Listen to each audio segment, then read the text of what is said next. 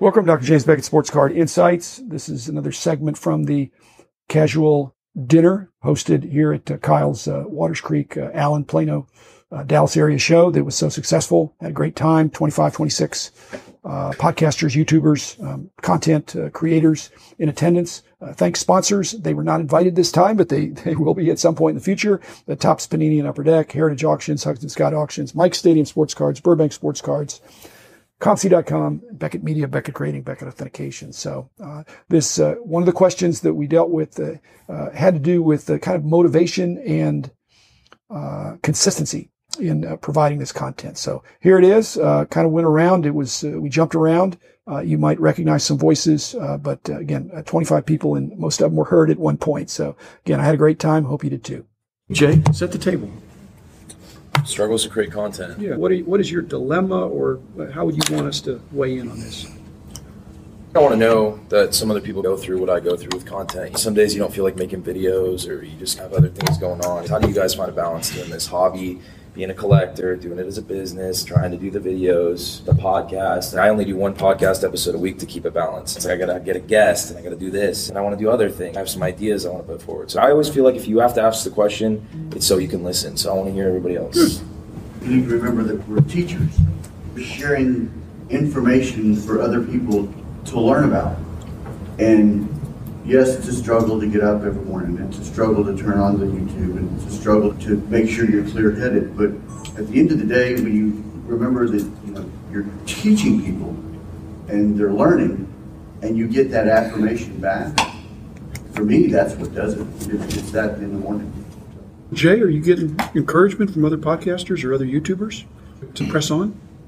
Yeah, hundred percent. The show goes on, but. Uh, I think structure and format helps, man. I think uh, for me, it's a balance, man. I still got friends. I'm, I'm 26. I still got a life ahead of me. I'm just taking it one day at a time. I think it's okay to take a break too. If you got to take a pause, I think that's healthy. There's no rule that says I come out every Friday, but I've missed a few Fridays here and there. I don't think that's uh, wrong to do. So if, if you need to do that, I'm the definition of struggle. I haven't produce any sort of solid content in a while now. In fact, my last blog post I think was March.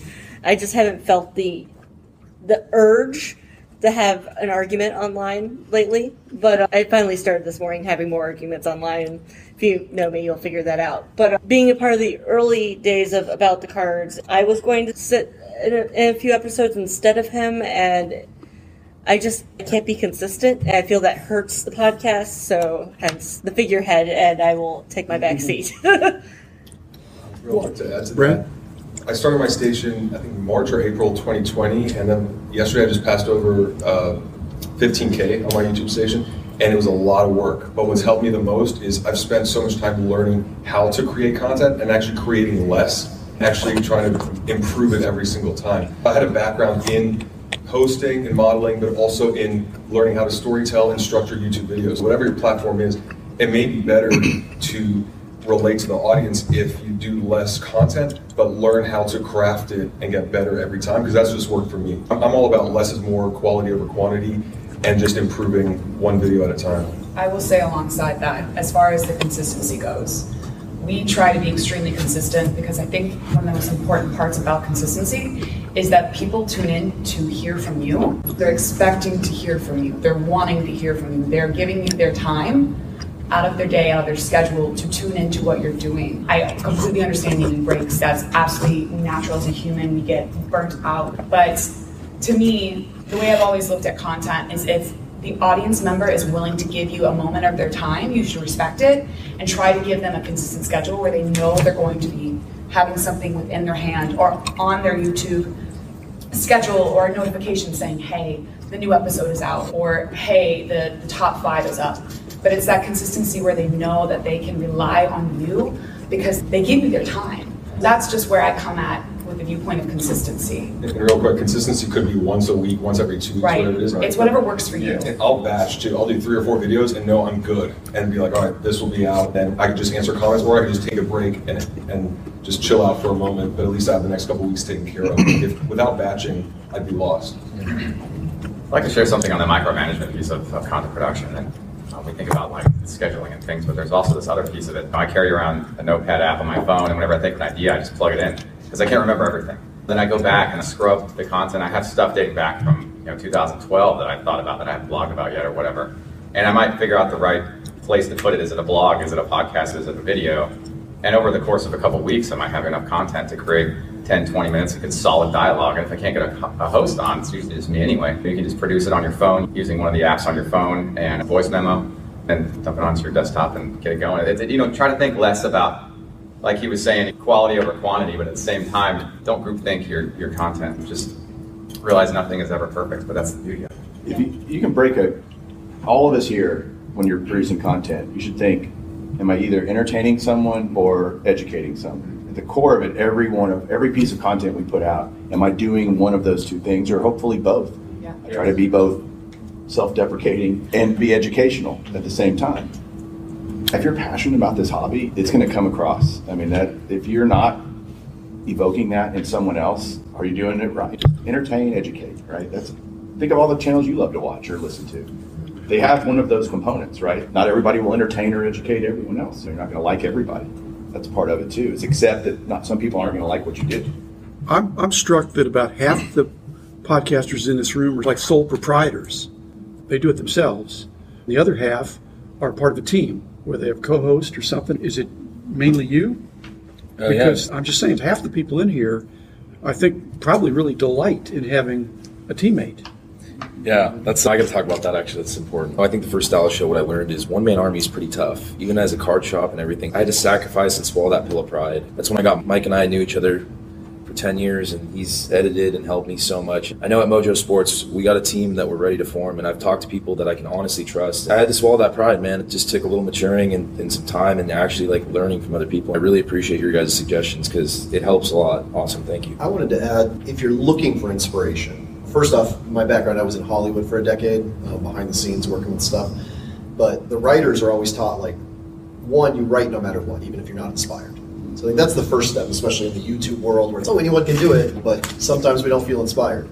So three pages a day is what a writer is supposed to write, you know, whether they're inspired or not in screen. So applying that mentality and saying, look, I'm going to work on it every day. But some one place where I find incredible inspiration when I'm not feeling it is in my metrics. I look back and I say, wait, what was popular? What did drive good engagement? What had a lot of comments? And maybe I never actually responded to all 20 of those comments or all 20 of those replies. There's a reply I didn't respond to, and I know this is popular. That'll inspire the next thing. It's really good to look at your metrics. Sometimes we're coasting, we're doing good, but if we ever hit a wall and we're like, what should I be talking about? Metrics can help with that. Yeah, alongside that, if there's something that you do that works, roll with that. Learn how to take that and branch that into other aspects as well. You do a particular IGTV episode and it does really well. Look and see what people are responding to, what they're latching onto, and take that and see, okay, what can the olive branch do now? I came also from Hollywood. I was a writer, I was an actor, I directed, I produced. So I'm coming at it from a very different angle than what some of you guys have come at it with, which is perfectly fine. Everybody should have different angles. But I also think we should all try to be brave and bold. There are a lot of things that we can be doing that I think can be out of the box. And that to me is exciting. And I think that to the community is also exciting. What can you be doing in the context of the sports card world that is groundbreaking? That's exciting to people because that in itself will translate into growth and and broadening of the hobby. I think that's what we're all here for anyway, is the growth of the hobby.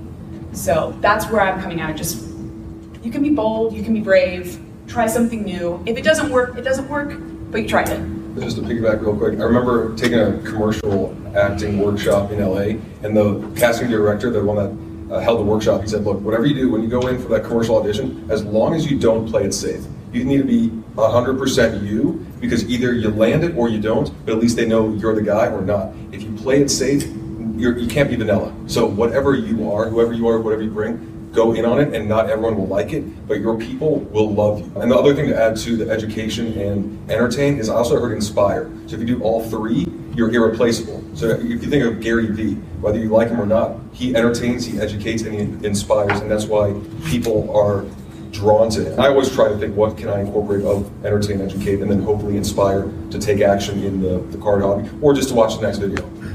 I want to throw something on the wall. As I look around this room, I know pretty much all of you and what you do and, and where you fall. Some are more collector based, some are more investor, and you do a lot of things to make money in the hobby. And there's nothing wrong with that one way or the other, whether I disagree with you or not.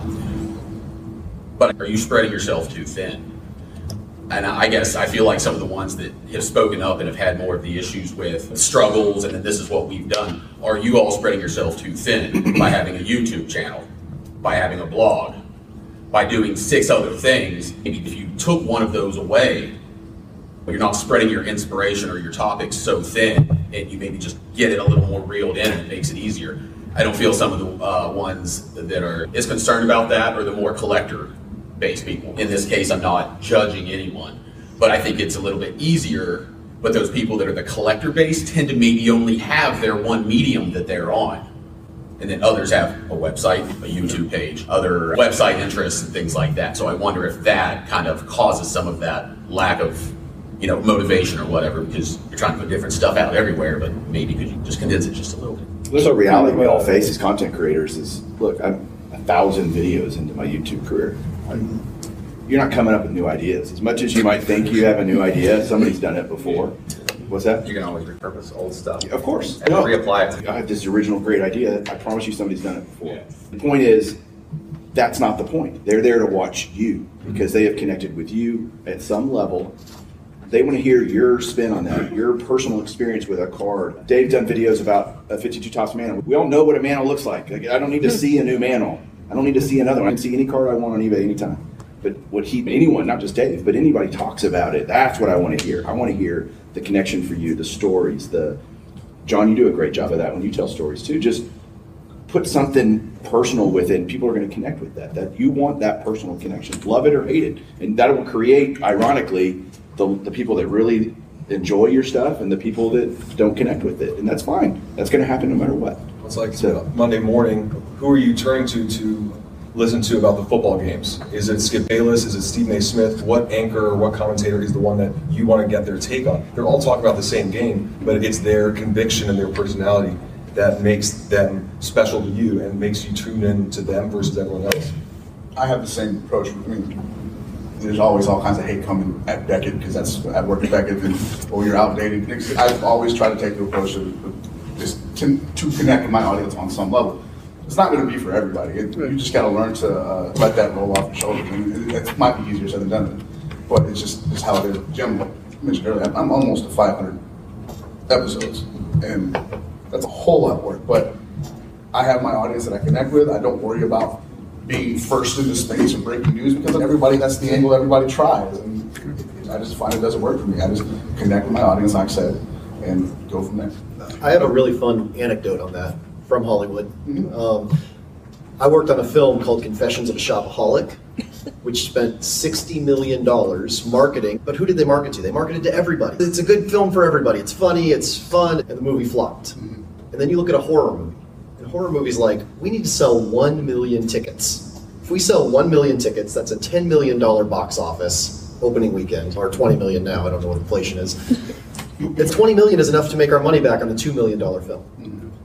and horror fans go to see horror movies. So, do you want to be the rom com that's trying to get everybody and actually costs a lot more money to try to get people to see it? Or do you just want to be, this is me, I'm this card collector, I'm this personality, I'm investment focused, I'm collecting focused?